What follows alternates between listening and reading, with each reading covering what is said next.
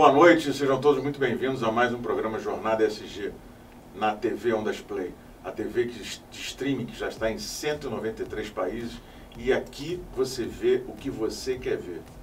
Sejam, temos aqui o nosso amigo Paulo Zuzarte, que eu vou apresentá-los, é o presidente da SECA, mas antes disso, é, queria fazer alguns, alguns, algumas chamadas, alguns avisos. É, primeiramente, agradecer pela, pela audiência de vocês. Tem gerado uma, uma, uma Todos muito felizes aqui no estúdio, né? o nosso produtor, Contra-Rega, todo o pessoal de operações, a diretoria também, o Cilevo da companhia, da TV das Play. Então, em nome de todos eles, muito obrigado pela audiência de vocês. Continue nos assistindo. Tem aqui na, no, em cima o QR Code do meu LinkedIn, então fiquem à vontade para clicar, é, curtir, reclamar também pode, não tem problema nenhum.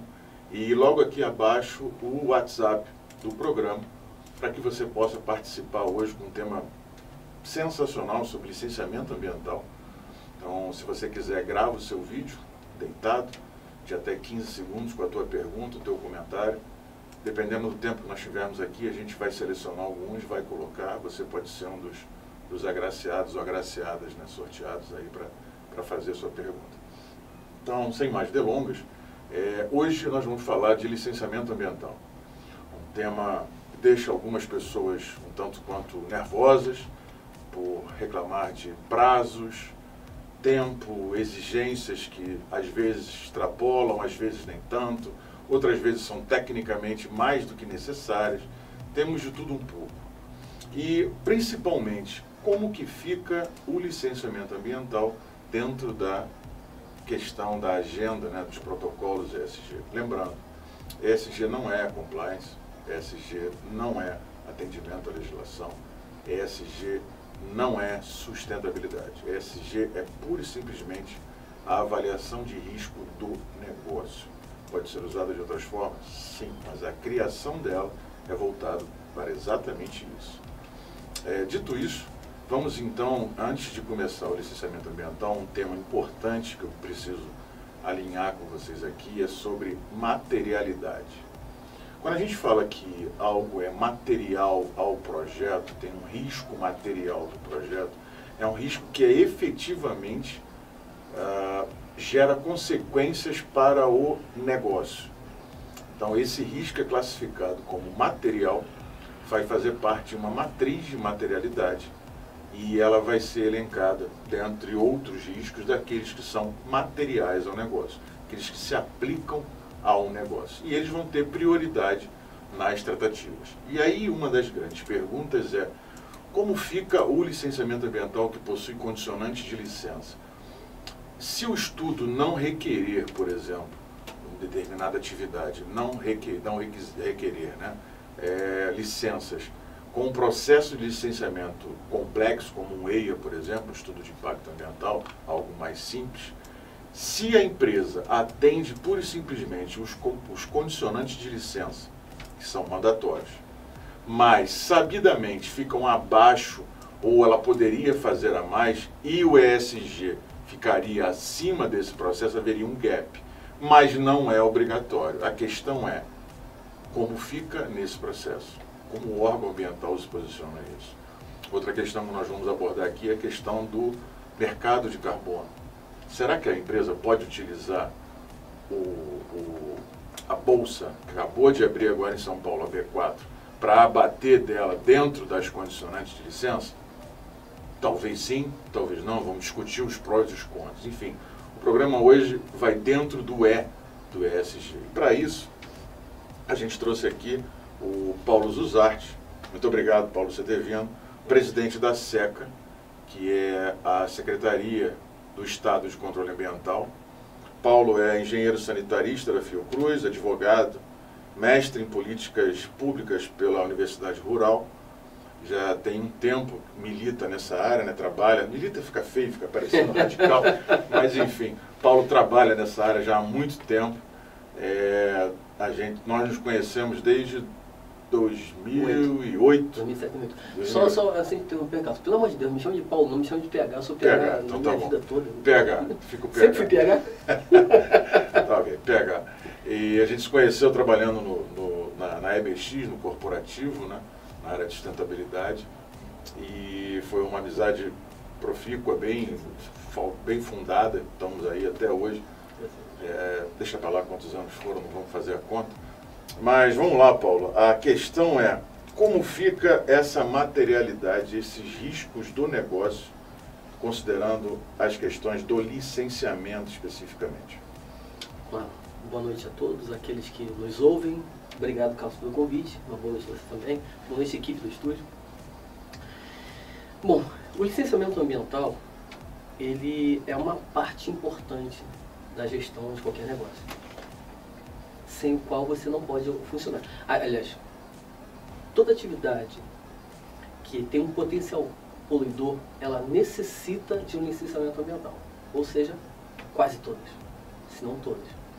Então esse licenciamento ambiental, só para dividir, ele pode ser a nível estadual, municipal e federal. Vou me ater a, a, ao, ao, nível estadual. Né? Porque o, o licenciamento, ele, ele, em 2011, ele sofre, ele tem um regramento que foi dado pela Lei 140, que é uma regulamentação do artigo 23 e 24 da Constituição Federal. Porque antes, a, a CONAMA 237, ela atribuía o licenciamento ambiental aos entes, mas ficava sempre uma dúvida, existia sempre um questionamento se era competência municipal, se era competência estadual, se era competência federal. A Lei 140, ela diz que o município trata, começa a tratar o ente municipal como o ente mais importante. Então ela divide as atividades de competências, eu vou te chegar na tua, na tua resposta, tá? As competências que são federais, são mais, mais amplas, são usina atômica, Angra 3, vai ser licenciada pela, pela federal. Ou aqueles, aquelas atividades desenvolvidas no, no mar continental, federal. É, e, por um outro lado, diz que atividades que têm impacto local seria licenciado pelo município. E o Estado? O Estado é o que fica entre um outro, é o que sobrou. Pois bem, é, é, então o licenciamento ambiental ele, que ocorre no Estado, né, você teve algumas leis que vieram para regrar isso, acertar, por exemplo, a CONAMA, 90, a CONEMA, que é a CONAMA do Estado, 92 e 95, ela estabelece, ela dita o que, que é competência local. Uhum. Tá? O que, que é impacto local? Que é o impacto local. Né? É o ente que mais, mais importa, né? o impacto local. Então vai dizer o que é impacto local. E, dito isso, o licenciamento, que é a competência do Estado, ele vai estabelecer algumas condicionantes. Ele vai ter o analista, que ele vai, vai ao local, vai fazer a vistoria dele, dependendo do tipo de, de uhum. licença. Tá? Tem licença que não precisa fazer vistoria. Tipo a licença ambiental comunicada, transporte, não precisa fazer, fazer a, a vistoria. Então, o, o, atribui responsabilidade ao técnico, atribui responsabilidade ao empreendedor. Ele também tem responsabilidade dele. Então, elenca, ele tem uma lista é, de, de, documentações que ele tem que apresentar, ele, ele, aquele, ele segue aquele checklist, ele recebe a licença dele, tem toda a responsabilidade. Então, como é que o Estado vai acompanhar aquilo? Vai acompanhar, que é dentro da tua pergunta, ele acompanha isso por amostragem. Olha, esse aqui, vamos fazer uma amostragem. Que você direciona, você direciona esforços. E a licença ambiental do Estado, ela tem uma série de condicionantes, condicionantes e restrições foi até a tua introdução. Essas condicionantes e restrições é uma lista exemplificativa do que o, o, o, empresário, do que o empreendimento deve seguir. Ela não é taxativa. Aquilo ali é, é uma, foi uma forma que o órgão ambiental no passado obteve de direcionar, auxiliar o empreendedor, falar assim, olha só, você tem várias coisas assim. Ela também não é limítrofe, né? Não, não, não, não é, ela não é taxativa. Ela é exemplificativa. Ela não diz que ó, só segue isso aqui. É importante essa diferença. Você vai seguir. E condicionante 1, 2, 3, 4, 5, 6, 7, 50, ou quantos forem, você segue aquilo. Aquilo ali é o mínimo que você deve seguir. Isso ali te exclui de atender, de atender uma, uma legislação estadual. Estou falando de uma, de uma atividade que foi licenciada pelo Estado. Isso ali te exime de atender uma legislação, legislação estadual? Não. Isso ali é, é, lhe exime de atender um requisito de um ente interveniente, tipo bombeiro? Não. Ali, a, aquilo ali apenas te direciona o que você deve fazer. Complementando a, a pergunta, a resposta, desculpa, existem determinadas atividades que você deve fazer um, uma auditoria ambiental. Isso também é previsto.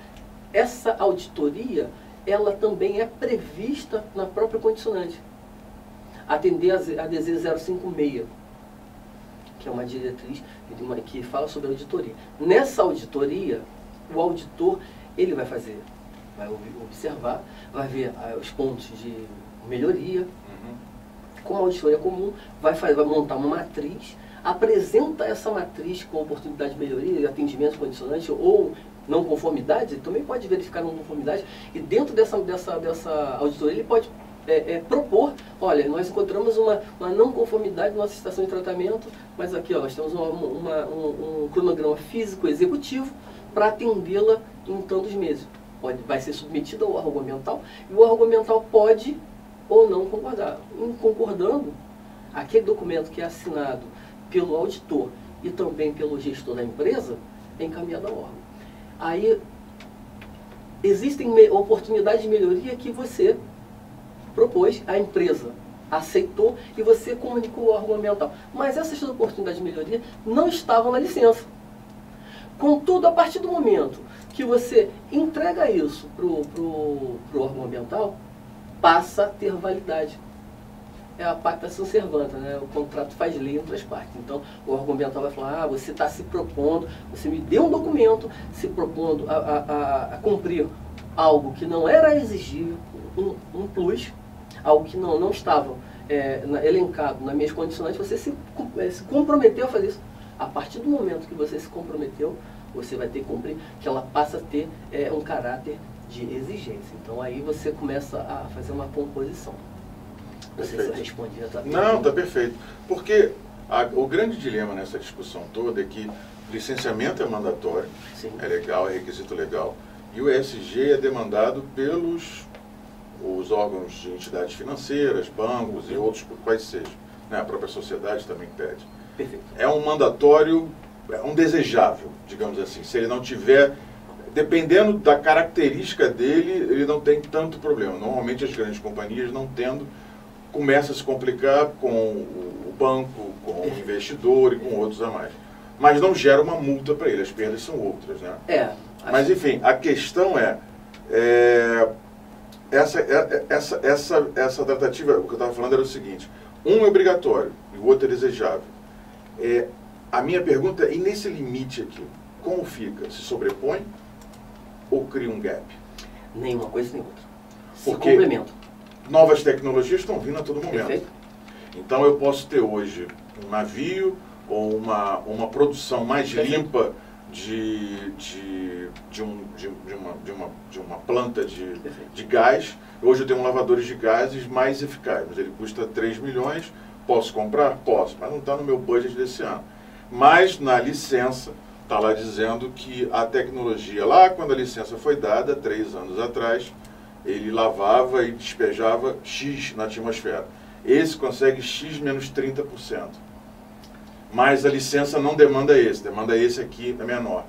Como fica a empresa para fazer esse investimento? Ela espera ser demandada pelo Estado, numa atualização ou numa auditoria ou num acidente, né, no pior dos casos, ou ela parte à frente e coloca isso como uma boa prática, vai ter um custo. Como que o Estado ver esse processo e o que, que o Estado pode fazer para quase que compensá-lo, para que haja uma troca. E veja, o que eu estou falando dessa troca é porque o Estado é o ente responsável que a nós, nós, sociedade, vivamos num ambiente despoluído. Então ele tem a minha outorga, vamos dizer assim, em meu nome para trabalhar. Então, uma vez que a empresa é, investe, ele pode ter uma contrapartida para facilitar esse investimento dela, não sei. Essa é a pergunta. Tem, tem, essa, essa pergunta ela tem, ela, eu vou dividir essa pergunta, essa resposta em dois, dois caminhos. É, primeiro, né, tecnologias.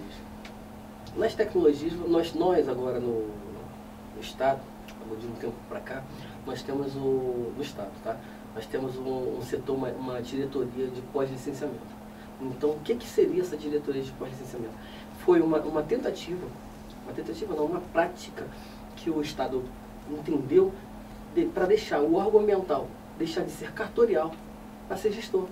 Então, você dá uma licença é uma mudança ambiental. de mindset muito Total. grande. Você dá licença, você um, um, e a equipe que dá licença não é a mesma equipe que acompanha, para ter isenção, inclusive. Até, são até diretorias distintas. É, então, o analista, o analista principal, aquele analista principal não, mas o analista que faz o parecer técnico, o parecerista, com, a, com auxílio de outras áreas, ele faz o parecer, ele olha, entende e encaminha esse parecer. Esse parecer vai pro, sai a licença e passa por uma outra área. Essa outra área, sim, de, ele não vai pegar o parecer hoje vai fazer a vistoria amanhã. Uhum. Então tem mais ou menos um gap rápido que, que antes de dar licença, o cara fez, o analista fez a, vistoria, então a empresa está mais ou menos redonda. Então não necessita de imediatamente. Então ele vai ter um, um de acordo com, com a demanda, ele vai botar numa, numa lista, vai lá e faz a, vai fazer a vistoria. Na vistoria, a equipe de vistoria vai verificar, além do que está acontecendo, os itens elencados na condicionante. É aí que é a sintonia fina. Porque vão ter condicionantes que pode, podem ser que elas estejam acima, Uhum. pedindo mais do que necessário, e vão ter condicionantes que vão ter abaixo. Então ele vai fazer essa sintonia fina. Então esse é o primeiro, primeiro aporte. O segundo são as, as, as, os lançamentos, né?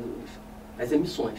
Essas emissões normalmente têm padrão, que são regulamentadas em outras leis, outras é, normas operacionais. Uhum. Então essas normas operacionais são, também são dinâmicas. Então você tem que atender a norma operacional.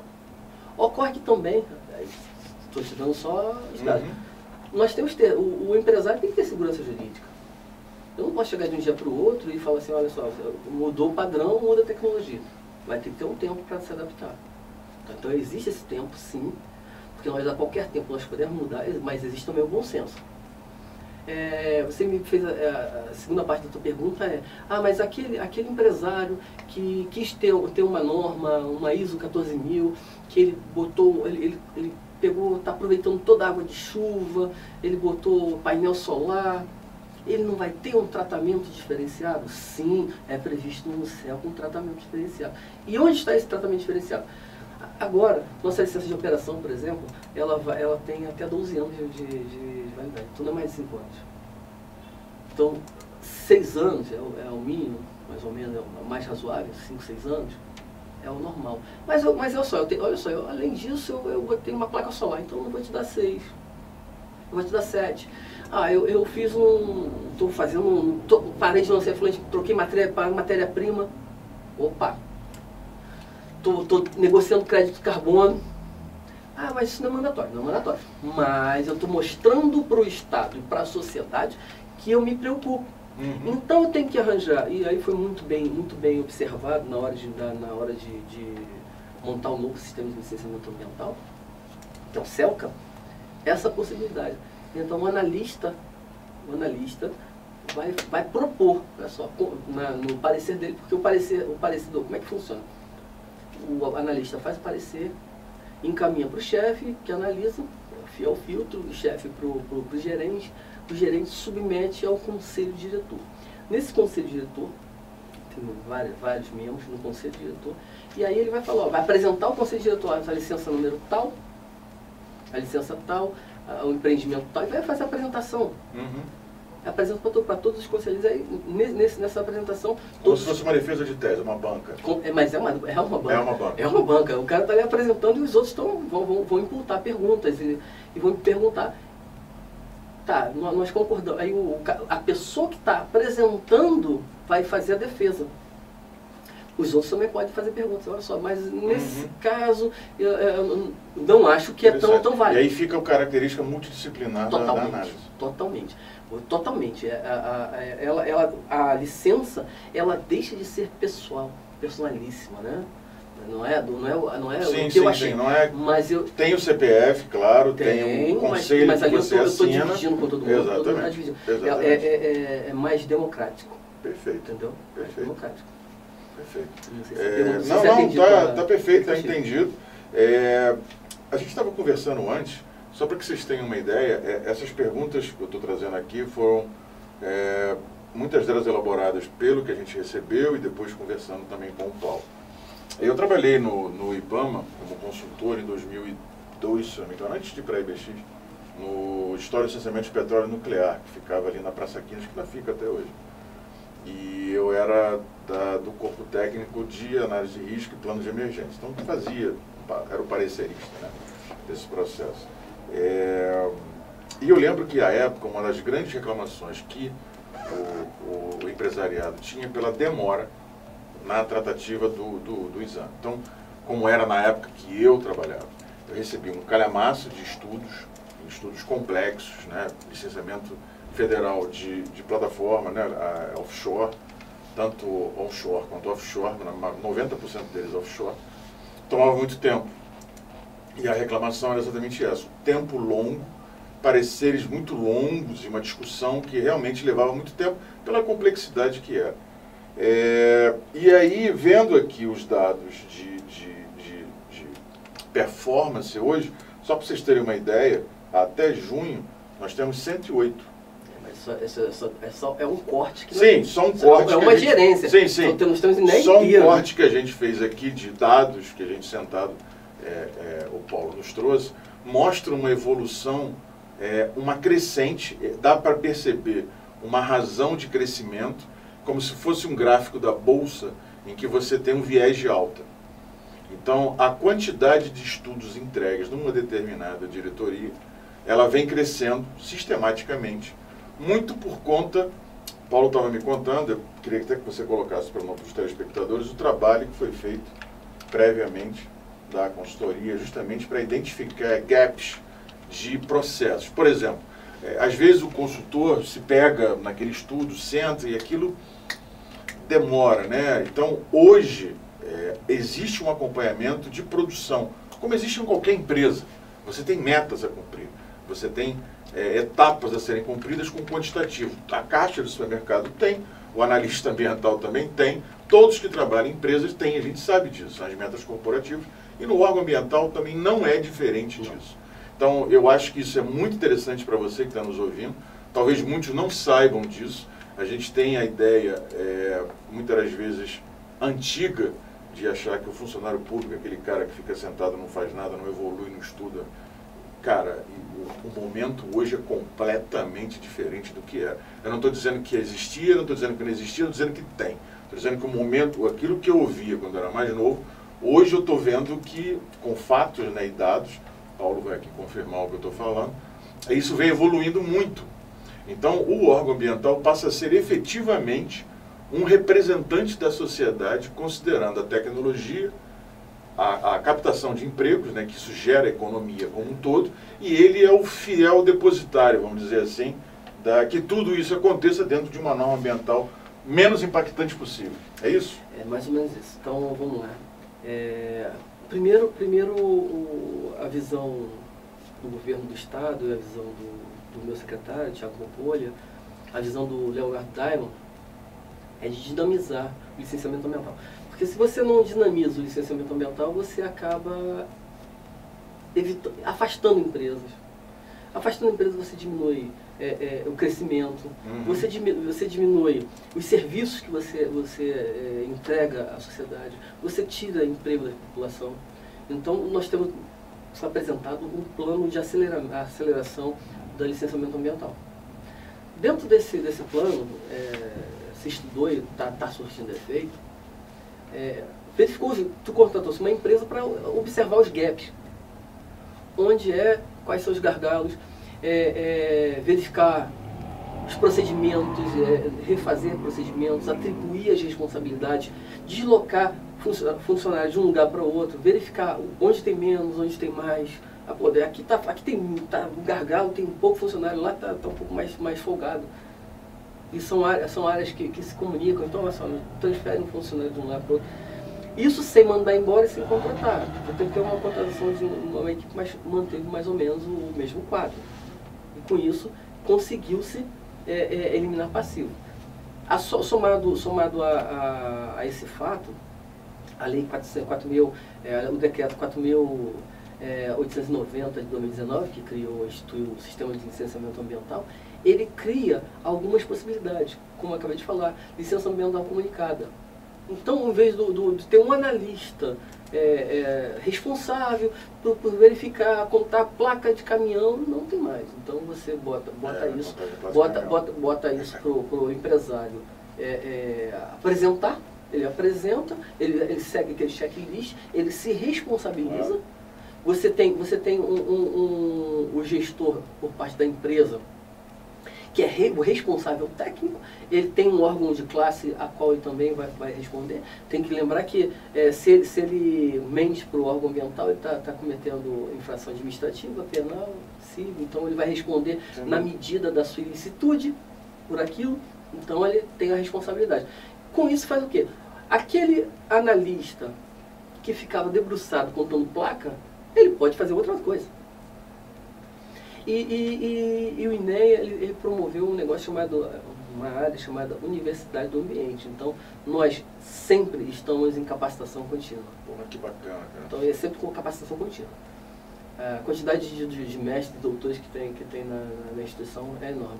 Outra coisa, é, faz um, um, um, mais um, mostrando mais um, um produto, é, é, como o órgão ambiental municipal também ele acaba abarcando boa parte da, da, das atividades que são de impacto local, ele também tem treinamento. Então, se o, se o órgão ambiental do Estado do município fala assim, olha só, nós estamos precisando de uma capacitação para análise de posto de combustível, de posto de abastecimento, o que, que se faz?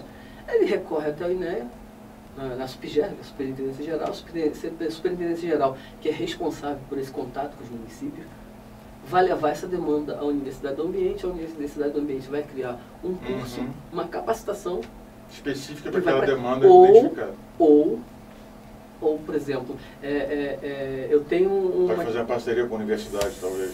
Sim, como nós temos a parceria com, com a universidade, mas é, é, é às vezes não precisa ter, ser tão burocrático eu quero, eu quero, eu posso ir direto na, na, na, gerência, olha só, tem uma equipe aqui, faz uma reunião, não é um treinamento, é uma reunião uhum. para tirar algumas Dividir dúvidas. Dividir experiência, Aqui, né? Exatamente. Por exemplo, tinha, tinha, tinha, tinha, uma, tinha uma atividade que era terraplenagem, que é uma atividade meio, não é uma atividade fim, não vou entrar nesse método. Então, que a, que a, que a, que a, a prefeitura fazia de um jeito e o, e o Estado fazia do outro. Então, algumas prefeituras ficavam, ficavam tontas. Vamos alinhar aqui como é que vai ser feito? Olha só, nós temos que juntar todo mundo. Isso aí. E aí, e as prefeituras, isso estou falando quando, quando, Todos eu, ganham. quando eu era, eu era o gerente, mas continua, continua acontecendo da mesma forma. Então, a prefeitura, o secretário, vem cá, traz sua equipe, vamos treinar. O que, que você está achando? Por que isso?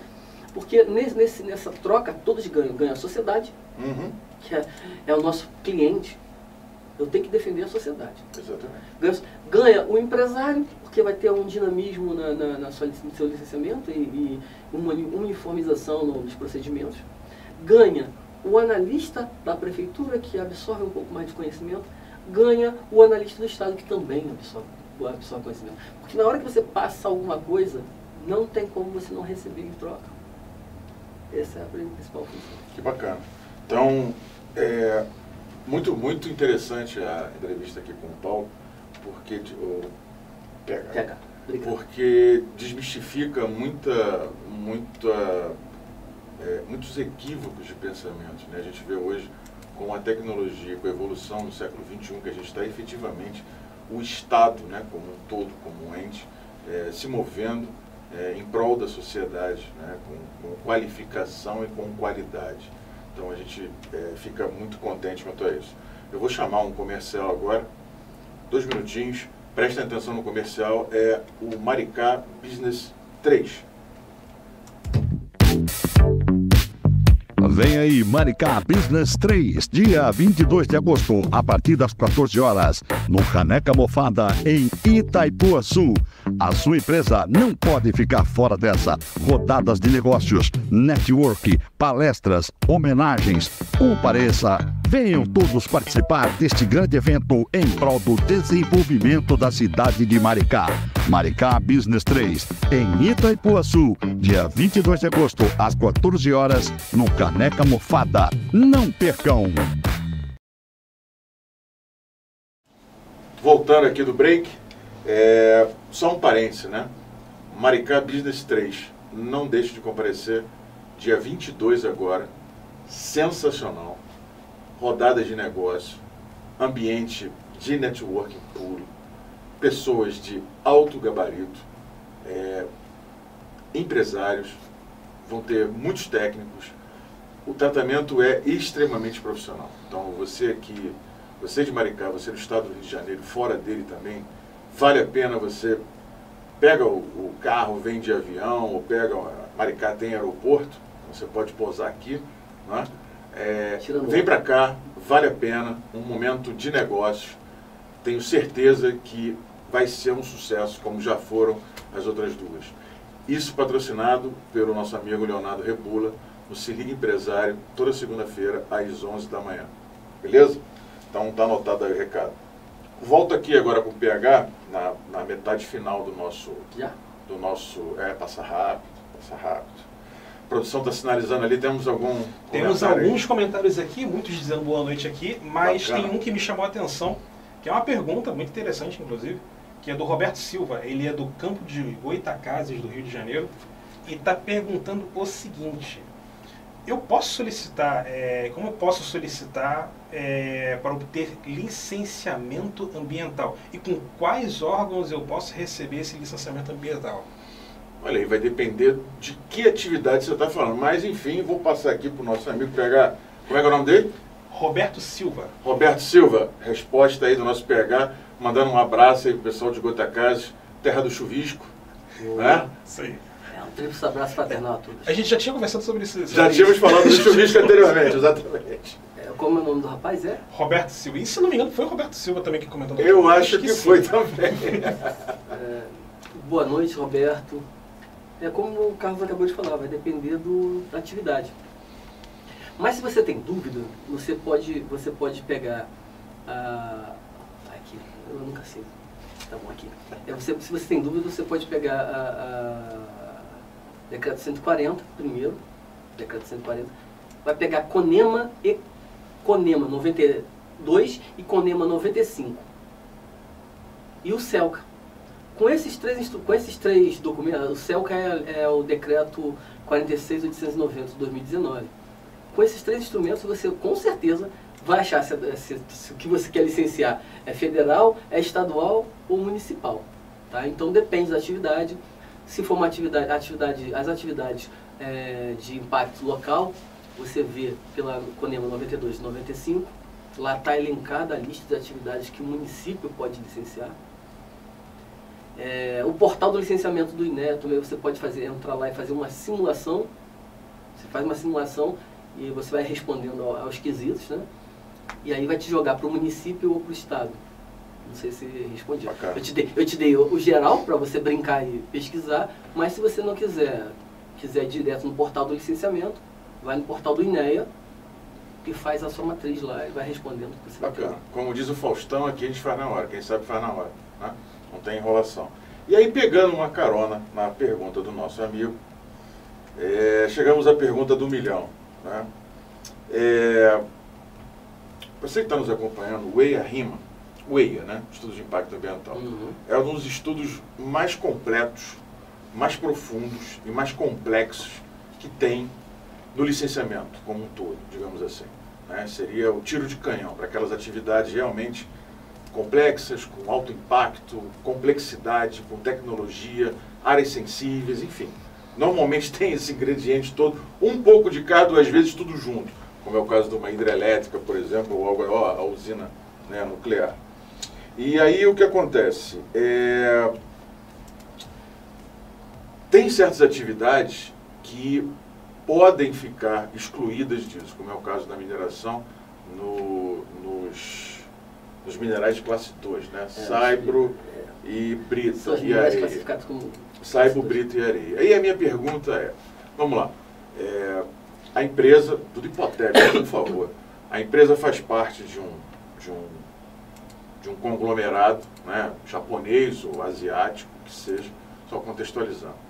É, tem investimentos de fora e no processo de licenciamento de Brita, por exemplo, ele ficou isento de um estudo mais complexo, seja de de despejo de resíduos, seja por questões de ruído, seja por questões de, de, de particulados no ar, o que quer que seja, não importa. Mas essa empresa atende os protocolos ESG. No licenciamento, as condicionantes de licença ficaram restritas a um determinado valor. Ele, por ter as práticas ESG em, em, em voga, né, por questões dos investimentos, o que era, sei lá, X, ele trabalha com X menos 10%.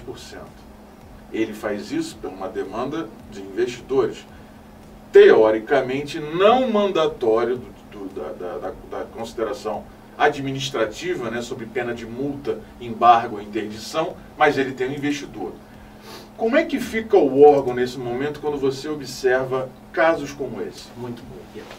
Deixa eu voltar um pouco na, na, na, nas minerais de classe 2, senão o pessoal fala, pô, tem que ter, não tem que ter a rima. Olha só. Toda atividade de extração Sim, não diz que não tem. Tem, mas toda, pode. Deixa eu explicar. Toda atividade de extração mineral, ela, por natureza, é obrigada a ter a rima. Ela pode ser dispensada de a rima desde que atendidos os critérios da 6373. Que aí você, olha, um parecerista vai submeter esse parecer ao Conselho Estadual de Controle Ambiental e falar só, esse, essa atividade aqui, ó, ao, ao, nosso ver, ao ver da, da equipe técnica, não precisa de rima. Vocês concordam? Havendo uma votação, que são, que são 15, 15 conselheiros, maioria absoluta, você. É, maioria simples. Você, você dispensa de rima. Dispensar de rima, não, agora a segunda parte. Dispensar de rima não significa que o trabalho vai ser mais complexo ou menos complexo. É, o EA-RIMA ele tem uma natureza, ele é maior, parece maior. Mas, é, de acordo com os critérios técnicos adotados pelo, pelo analista, ele pode pedir é, é, estudos complementares. Porque não faz, às vezes não faz sentido você pedir um estudo tão amplo para uma atividade que, não, aquele impacto não faz sentido. Então está de lado. Agora, a, a, o fundamento da sua pergunta, é, você tem dois, dois, dois blocos de, de, de atendimento. Se você, esse atendimento que está na condicionante, esquece, esse é obrigatório. Aqueles, aqueles atendimentos, aquelas necessidades por lei, independente de estar embutida na nossa licença ambiental, ela também é obrigatória, é lei. E esse é mais, esse, esse, essa coisa que quis dar mais para atender a, a, ao, ao, meu mercado, para atender o meu, meu acionista. Como é que fica isso? Como é que o argumental vê isso? Depende. Como eu falei, se você botou isso, se, se você contratou uma empresa de auditoria e essa empresa de auditoria identificou esse a mais e botou no relatório dela, dele, dizendo que você vai atender, a partir desse momento, isso que a mais fica incorporado à necessidade de análise do órgão ambiental. Entendeu? Enquanto você não comunicar o porque olha só, eu posso fazer mais. Sim, você pode manter a boa prática sem, sem reportar. Sem reportar. Problema nenhum. O dia que o cara foi lá medir, vai ver que tem você, menos. Você, é, beleza. Mas se, a partir do momento que você quer. Olha, você declarar, declaro, passa ó, eu preciso, preciso fazer um, um, um tratamento é, é, de nível terciário. Eu estou fazendo um, um, tratamento que tem um polimento. Estou deixando, estou lançando meu efluente, que, que era para lançar dentro, dentro dos padrões X, estou lançando padrões de potabilidade. Bom pra caramba. Ser obrigado? Não, ser obrigado a lançar dentro dos padrões estabelecidos. Mas eu estou lançando lá e estou dizendo o seguinte, estou lançando e vou lançar sempre. A partir do momento que você, no, no teu relatório de auditoria, você se comprometeu a, você se comprometeu a. Desde, desde que você uhum. bote lá atrás, você, sim, sim, sim, você vai ter uma assinatura claro. do, do, teu, do, do, do, representante da empresa, do representante legal, vai ter a assinatura do, do, do dos, dos, dos auditores, parecido, os auditores, é, os auditores, e vai protocolar isso no órgão ambiental. A partir desse momento, esse documento passa a ser um documento válido. Porque eu não estou te brigando, você que você que uhum, uhum. Aí puxa uma outra pergunta, já para agora com a pergunta realmente do milhão. Pô, já não é essa, mas a próxima. Essa já é outra. É, eu lembro que na época eu trabalhava no IBAMA, a gente tinha, nós, é, é, analistas, né? Quando eu via um estudo com um determinado nome da empresa, eu já imaginava o que eu iria encontrar ali dentro.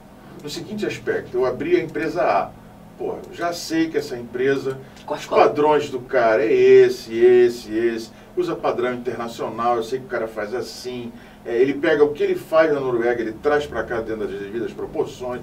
Eu, eu já sei como ele trabalha, é, vou estranhar muito se ele não seguir aquele padrão. Perfeito. E tem o outro lado da moeda, que é aquele cara que você bate o olho, que é o B, que você fala assim, pô, isso aqui é aquele corta e cola, que o cara vai dizer que tem pinguim aqui na Baía de Guanabara, que foi de um estudo que cortou e colou do outro e tal. Ainda acontece esse tipo de coisa ou isso já diminuiu? Isso já diminuiu. Acontece? Acontece, mas já diminuiu. Primeiro, vamos lá, por parte. Eu, eu não posso, eu, eu mesmo sabendo, nós, nós somos seres humanos, nós já desenvolvemos um, um, um preconceito. Sim, sim, sim. Verdade. Mas temos que ser exemplo nesse problema. Porque às vezes vez você faz claro, porcaria, claro, de repente ele fez claro. bonito dessa vez. Então. E vice-versa. É, vice-versa, é. exatamente, vice-versa. Então, é. é mas eu vou, logicamente, pô, você é preconceituoso, você olhar com um olhar mais crítico para um do que para o outro. É, tirando o erro, que também é, é humano, essa falha é humana, se for algo detectado como mau caratismo, vai responder.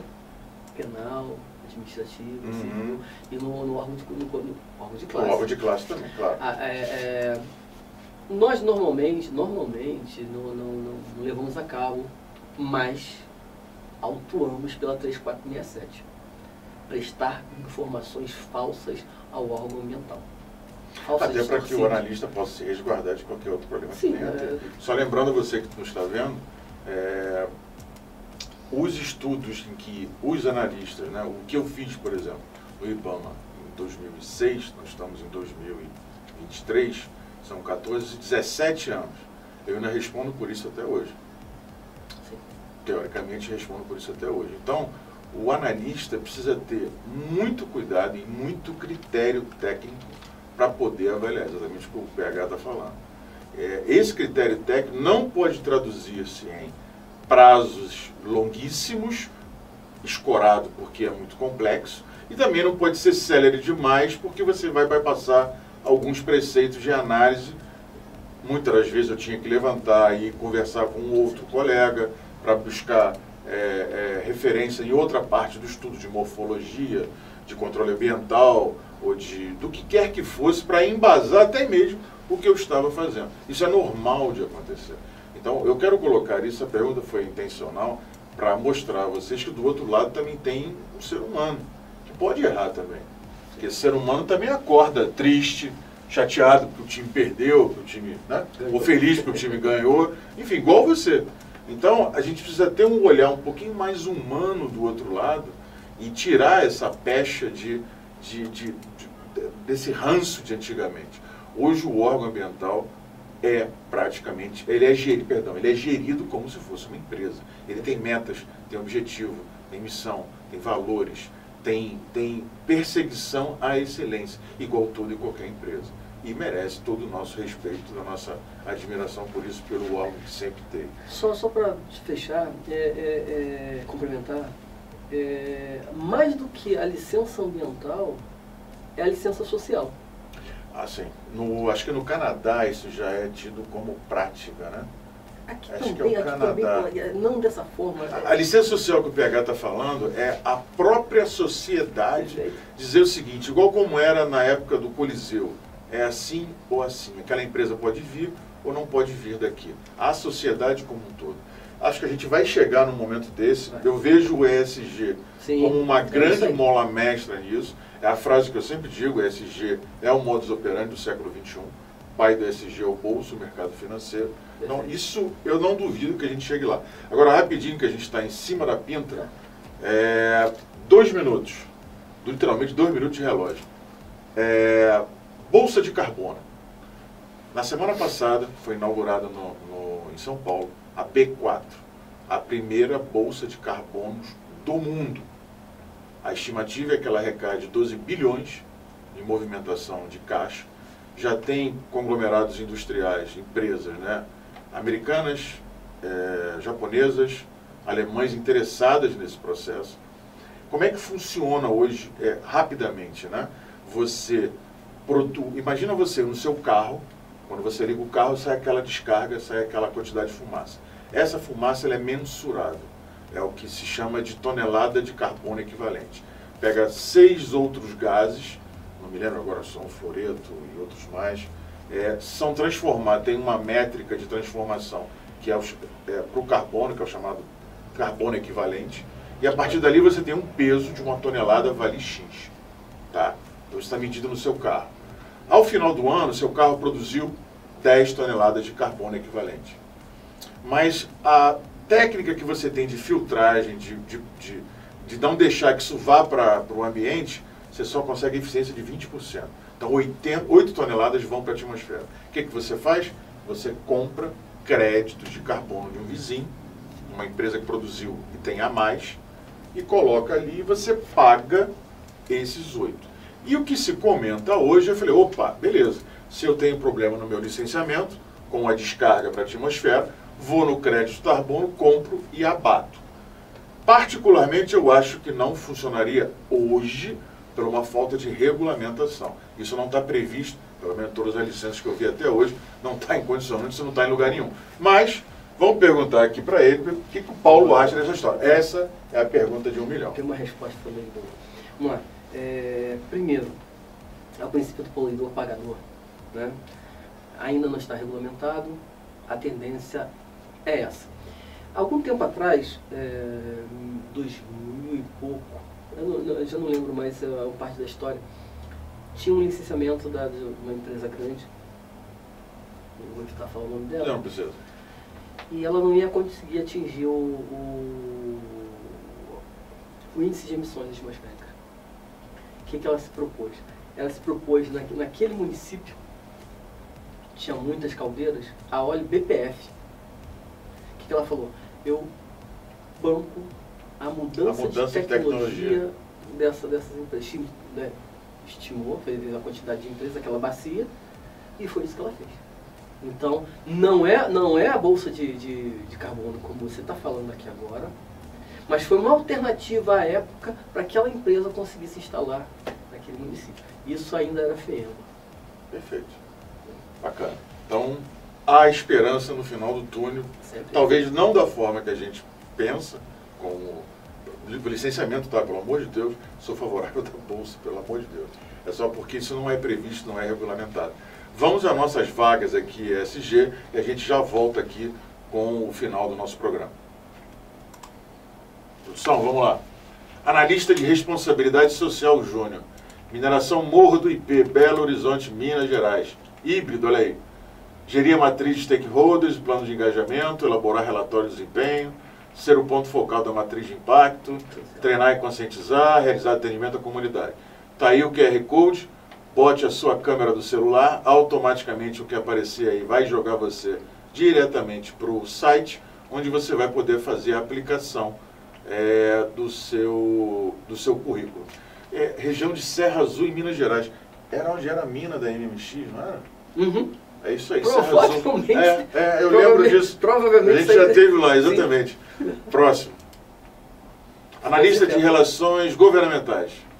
É, PepsiCo, São Paulo, presencial esse. Bacharel equivalente em Ciência Política, Administração Pública, habilidade de comunicação escrita em inglês, analisar informações complexas, é, bacana a frase aqui no final, na PepsiCo, reconhecemos que apoiar a diversidade e o engajamento não é apenas coisa certa a fazer, é a coisa certa a fazer para o nosso negócio. Bacana. Só um detalhe, gente, a gente não recebe nada por essas vagas. Se a PepsiCo se interessar, por favor, entre em contato com o programa, vai ser muito bem-vindo. Muita coisa. Vamos lá, foco aí no QR Code. E por último, mas não menos importante, outra da Pepsi, acho que vale um, um, um contato com a Pepsi, é, São Paulo presencial, é, bacharel também em Relações Internacionais, Direito e Economia, Administração, Ciência Política, Espanhol básico, CI 4 a 6 anos de experiência, coloca a sua câmera aí que automaticamente você vai ser direcionado para o site da Pepsi e poder aplicar é, para a vaga que você tanto quer. Essa é a última, né? Uhum. Beleza. Bom, voltando aqui então, nós já estamos aí na reta final do nosso programa. Então, destacando aí Macaé, Maricá, perdão, Maricá, Maricá Business 3, do nosso amigo Leonardo Rebula. dia 22 de agosto, agora está perto. Pegar convidado para vir. É, nós vamos estar presentes também, o Jornada SG, confirmado. Vai ser um prazer estarmos lá, presenciando, é, é prestigiando o evento do colega. Um evento sensacional, de profissional. Terça-feira. Terça-feira. Terça-feira. É, a gente dá um jeito, toma um café lá, para deixar. É, então, estaremos lá presentes. E logo em seguida, em novembro, nós vamos ter o primeiro evento ESG em Maricá, o Jornada ESG. Mais para frente a gente vai dar detalhes desse processo todo aí. Então, chegando ao nosso final do programa, antes da gente encerrar, PH, queria que você colocasse aí rapidamente para o nosso pessoal, para o pessoal que está ouvindo aí dois minutos, é, como que você, nesse tempo todo de, de, de trabalho na área ambiental, qual é o principal requisito que uma, uma pessoa que quer entrar para a área ambiental, para trabalhar como analista, precisa ter, a despeito da formação, tudo isso, qual é o, o soft skills, qual é a habilidade que ele tem que ter? O que, que chama a atenção disso? Olha só, é, a questão ambiental, ela não pode ser encarada como prioridade. Ela tem que ser encarada como filosofia. Dito isso, para a pessoa trabalhar na área ambiental, ela pode ser um simples técnico, mas vai ficar frio e vai acabar saindo. Então ela tem que se apaixonar pelo aquilo que ela faz. Porque para trabalhar com o meio ambiente é, é tão dinâmico, é tão dinâmico que você toda hora tem que se reinventar. Então, digo que para trabalhar com o meio ambiente, seja apaixonado. Só isso.